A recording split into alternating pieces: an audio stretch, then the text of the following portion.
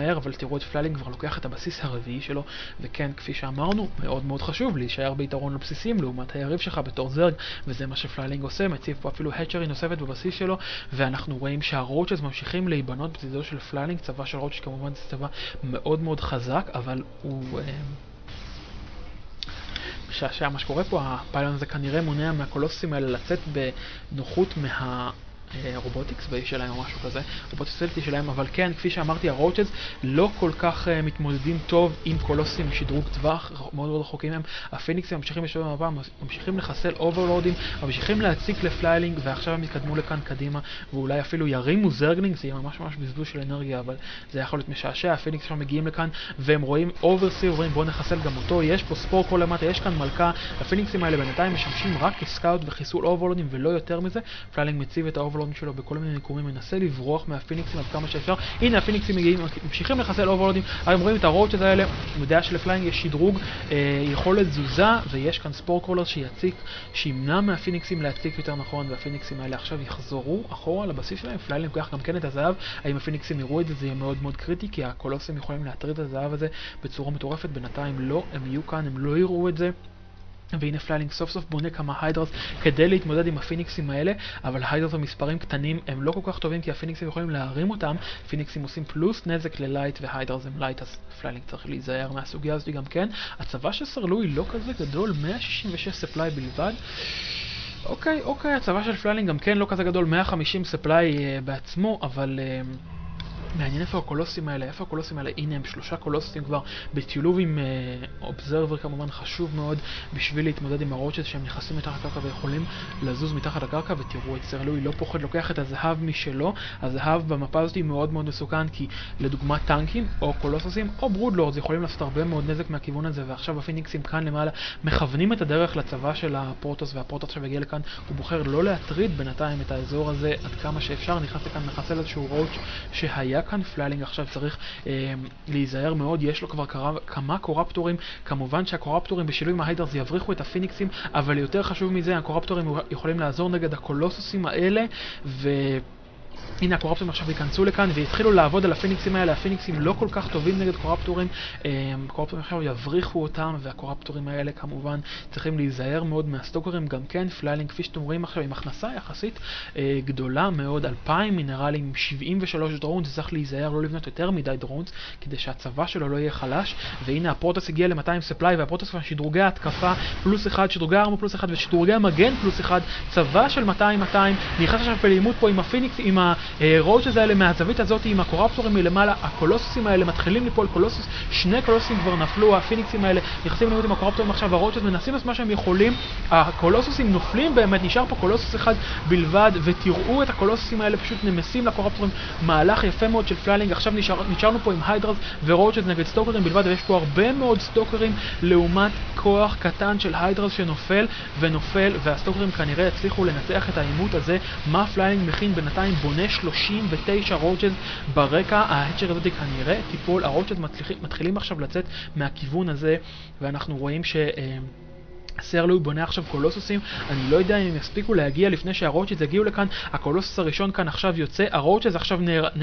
אה, נאספים כאן, הולכים להגן על הבסיס הזה, הנה עוד כמה roaches, צריכים להיזהר מאוד, נזהרים עכשיו באמת, לא רוצים להיכנס לעימות, וסרלוי עכשיו הולך לחטוף פה את ההתקפה הדו-כיוונית הזאת של פליילינג, פליילינג מגיע עכשיו מכל הכיוונים, הסטוקרים מתחילים ליפול, לעומת ה colossus הפעם לא מקבל אש קורפטורים, ה roaches עכשיו אה, מורמים לאוויר על ידי הפיניקסים, הפיניקסים עוזרים גם כן בעימות, מנסים לעשות מה שיכולים, ה colossus עושה הרבה הרבה הרבה מאוד נזק מאחורה, אבל הסטוקרים נופלים להם לאט לאט לעוד ועוד roaches שפליילינג בונה, פליילינג מייצר פה פשוט מלא roaches ומצליח עם roaches בלבד לחסל את כל הצבא הקרקעי של סרלוי ואותם קולוסוסים שנבנו לא יגיעו לכאן בזמן, היכן הם פה הם מאחור, סרלוי עכשיו צריך להגן על ה expansion שלו, להגן על ה gold והפיניקסים האלה פשוט מאוד מאוד עוזרים, פליילינג מייצר עכשיו עוד כמה, כמה קורפטורים כדי לעזור נגדם ונגד הקולוסוסים, הפיניקסים מציקים מאוד מאוד ל roaches האלה, וה roaches של פליילינג עכשיו נכנסים פה משני הכיוונים, כאן הקולוסים יעזרו, כאן הפיניקסים יעזרו, והפיניקסים האלה גם כן עוזרים, הקולוסים עכשיו עושים ישירה על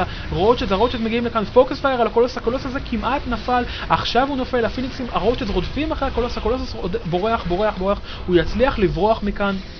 הוא כנראה שלא יצליח לברוח, אוקיי, כן יצליח לברוח, יש לו יתרון גדול של טווח, עכשיו פליילינג מחליט אה, לתקוף את היחידות הקרקעיות של סרלוי, סרלוי פה כנראה, כנראה יאבד את ה expansion הזאת, אני לא בטוח, הרוט נכנסים מתחת לקרקע, אין פה observer אה, שיעזור והם יכולים להיכנס לתחת הקרקע ולהעלות את ה-HP שלהם, וכן סרלוי כנראה מאבד את ה expansion הזאת, הקורפטורים הגיעו, ניקו את ה colossus, ופליילינג עכשיו הצליח לנקות את ה gold, הבסיס הזה של סרלוי כורה מינרלים, הבסיס הזה של סרלוי כורה מינרלים, הבסיס המרכזי שלו כבר לא, אז הוא על שני בסיסים בלבד, 75 probes, אבל ההכנסה שלו כרגע יחסית קטנה לעומת של פליילינג, שהוא כפי שאנחנו רואים כבר הרבה מאוד זמן, עם 2,000 מינרלים הכנסה, אפילו לא סיים את ה main שלו עדיין, משדרג את השדרגות התקפה של הקורפטורים שלו, שיהיו יעילים במיוחד נגד אותם קולוסוסים ופיניקסים.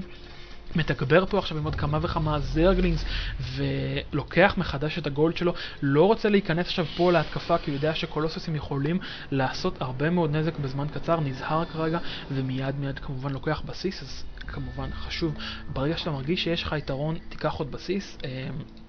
ולך תטריד קצת היריב שלך מהצד, וזה מה שפליילינג עכשיו עושה, הוא רואה פה את ה Nexus הזה שנבנה, מיד שולח את העדר של ה zerglings שלו לאזור הזה, והוא הולך לחסל את ה Nexus הזה ללא שום בעיה, ה zerglings האלה כבר יש להם שדרוגי armor פלוס 2, שדרוגי התקפה של פלוס 1, הקורפטורים מצאו פה כמה פיניקסים, הפיניקסים צריכים להיזהר, הקורפטורים גם כן צריכים להיזהר לא להיכנס לטווח של הסטוקרים.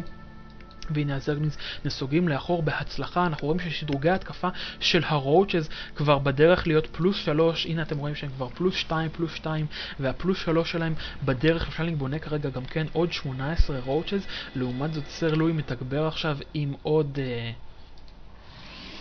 עוד אימורטלים, אימורטלים כמובן מאוד מאוד טובים נגד roaches, הבעיה של פליילינג היא צבא גדול מאוד, כפי שאנחנו רואים 200 supply בשביל פליילינג כרגע, לקח את היתרון הגדול בצבא, יש לו קורפטורים באוויר בשביל לטפל בקולוסים, יש לו את הבסיס החמישי שלו כבר בדרך, ה gold שלו פועל וכורה מינרלים וההכנסה שלו בשמיים, והנה ה zerglings עכשיו נאספים מהזווית הזאתי, הקורפטורים רודפים להם אחרי פיניקסים, הפיניקסים מהירים יותר כמובן, מחסלים פה איזשהו overlord פה ושם.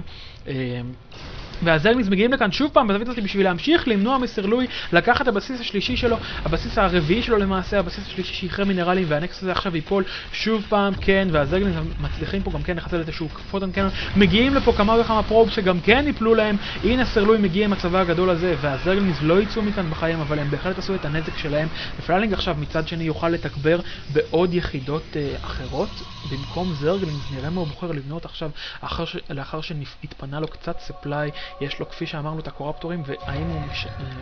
ממשיך לשדרג, כן, ממשיך לשדרג את השדרוגי ארמור של היחידות שלו, ההוראות שלו עוד מעט יהיו עם פלוס 3, פלוס 3, 24 זרגלינגס בדרך.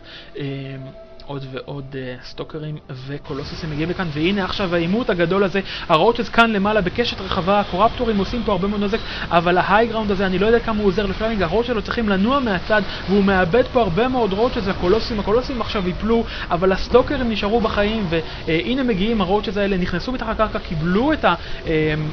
אה, HP הגבוה שלהם עלה בחזרה, לה, בחזרה, הם מתקרבים לכאן שוב פעם, עושים פה את הנזק שלהם, ה sentries נופלים דבר ראשון, הסטוקרים מאחורה בשילוב עם האימורטלים מצליחים להבריח את ה roaches האלה, מצליחים לחסל כמה roaches, אה, פליילינג מנסה להציק שוב פעם מהצד פה עם כמה וכמה zerglings, הפעם יש פה כבר קנונים וזה יהיה לו קשה יותר, האם ה probes יבואו לעזור ל cannon, כן, יבואו לעזור ל cannon וה cannon הזה יצליח לנצח. בסופו של דבר את העימות הזה עם השישה zerglings ופליילינג עכשיו צריך לייצר צבא מחדש, הוא מייצר כפי שאתם רואים 26 hydras, כי הוא ראה שכבר לא נשארו קולוסוסים ויש כאן אימורטלים, ו hydras כמובן יהיו מצוינים נגד הצבא הזה, אבל הוא צריך שהם יצאו מהר מאוד, והם יוצאים עכשיו, ה zerglings עכשיו יצאו, ה zerglings האלה צריכים לסגת לאחור, הצבא של פליינג עכשיו נאסף לכאן, הצבא של אה, סר לואי תקוע כאן למעלה במיקום גרוע, כל ה zerglings מגיעים, הפורספילדים האלה מאוחרים מדי ולא עוזרים, וה zerglings לבד, ללא תמיכה של hydras, עושים פה את כל הנזק, הנה מגיעים ה hydras מאחור, האימורטלים נופלים, הסטוקרים נופלים, ה sentries נשארים לבד, וה hydras יבואו לנקות את כל הדבר הזה,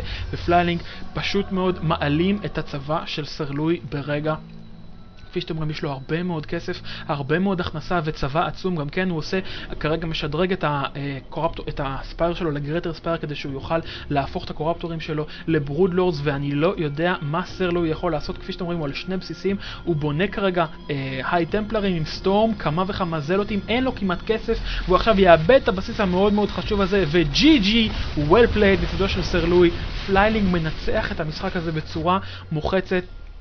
זה היה באמת משחק יפה מאוד של פלאלינג. סר לואי ניסה עם הקולוסוסים שלו לעשות מה שהוא יכל, אבל פלאלינג פשוט מאוד עם הקורפטורים שלו כל פעם הצליח להפיל את הקולוסים. אני חייב לציין כמה זה חשוב שיש נגדכם פרוטוס ויש לו קולוסוסים. תחסלו אותם דבר ראשון, הם מאוד מאוד חשובים, אבל אה, בהחלט אנחנו ראינו שפליילינג גם כן אה, ייצר את היחידות החשובות בזמן הנכון, עבר כל הזמן בין roaches, zerglings, hydras וקורפטורים, מה שהוא היה צריך בזמן שהוא היה צריך, אז בהחלט היה יפה מאוד, אה, שילוב נכון מאוד של יחידות, וכמובן שליטה במפה, התרחבויות, התרחבויות, התרחבויות, ולשמור על הכסף שלך נמוך, לייצר יחידות, אז כל הכבוד לפליילינג, גם כן כל הכבוד לסרלוי, משחק יפה מאוד שלו, תודה רבה לכם שצפיתם, צופים יקרים שלי, וכמובן שתצפו שוב בעתיד לעוד משחקי סטארקרפט 2 ישראלים ומצוינים.